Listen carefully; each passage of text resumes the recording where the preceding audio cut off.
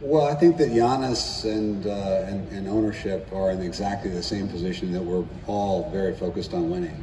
And so, if you really his comments, which I think in, in, the context in which they were offered, had everything to do with trying to be in the best position to compete for championships while he's an active player at the peak of his his uh, skills. And of course, we couldn't be more supportive than that. So I think I feel like we are 100% aligned about this, and we've done everything that we can to make the, the team have the, the, team have the best chance to to compete and win.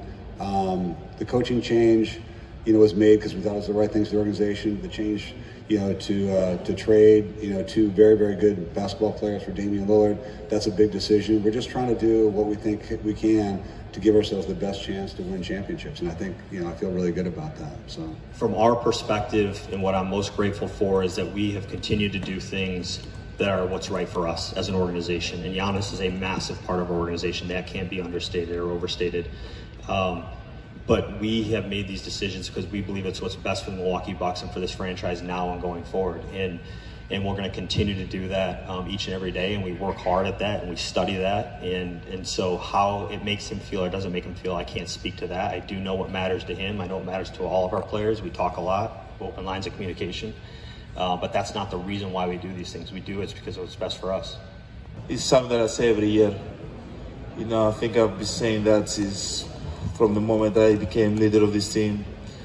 I've been saying the same thing. You know, at the end of the day, I want to win games. You know, I am not comfortable in any any shape or form. Like I want to play, I want to win, I want to win championship. I want to be the last team standing. And at the end of the day, like you know, if I'm going to sacrifice, you know, time away from my family, you know, uh, time that I'm on the court, uh, time in the film session, I need everybody to be on the same page, you know, and I'm not just talking about my teammates, I'm talking about, you know, the whole organization, you know, everybody on the same page.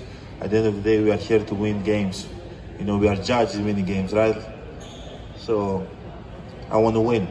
You know, uh, I always wanted to win. I still want to win and it's always going to be like that. You know, until I retire, it's always I, I, want to be a part of a winning team, and I feel like I hope everybody feel that way. I do feel that way, and uh, you know, from the team, I definitely see in the last couple of years, I see the commitment from the team that they do whatever it's they can to uh, make this uh, team a championship level team. So. Um, I'm happy. I'm happy to be able to wake up every every single day, and come to work, and know that I have a chance to win a championship instead of just coming here and know that there's no way we're going to make the playoffs. So we are going to be one of the worst teams in the NBA. Like I don't like that feeling. I like having a you know kind of looking forward on something that's bigger than me, greater than me. You know, and every day that I wake up and every day that I'm going to wake up moving forward, that I'm going to be with the team, I want to feel like I walk in here and I have a chance to win a championship. It's the same thing say every year. I can I can go back. We can pull clips. I say the same thing every year. As long as the team is committed, as long as people want to win, I'm here. You know, and if I feel like that is not, you know, uh, it's not the case anymore, I want to win. You know, it's easy to be with a team. Easy. It's not easy. It's easy to just kind of get comfortable in the team and be here 15 years, 20 years, and just make a living and uh, feel good and feel comfortable and the city loves you. Like, no. I'm a winner. I want to win.